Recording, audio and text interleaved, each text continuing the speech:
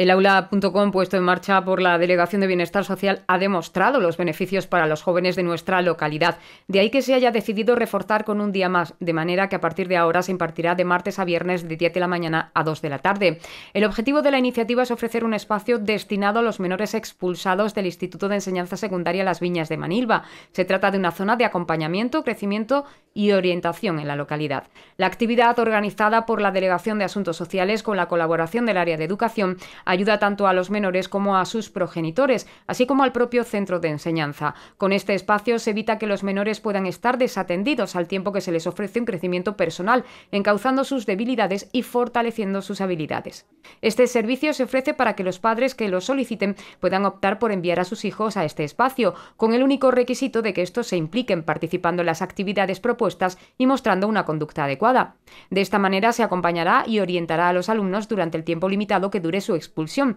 tanto en la realización de sus deberes académicos como sobre las áreas que inciden sobre estos.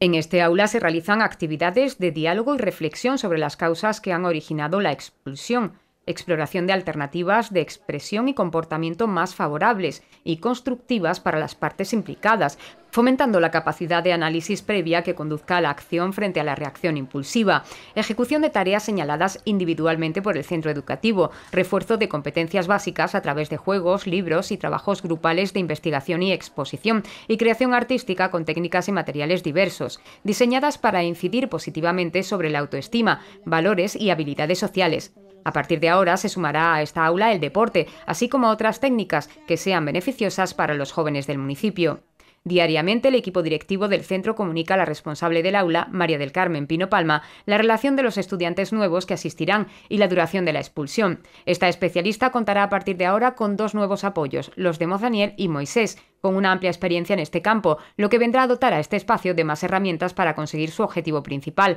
que no es otro que ayudar a los más jóvenes del término y potenciar sus capacidades. Cabe destacar que se trata de una opción voluntaria, que los padres deben solicitar y firmar en el propio instituto, y que los alumnos expulsados podrán disfrutar siempre que la aprovechen con un grado adecuado de participación y conducta.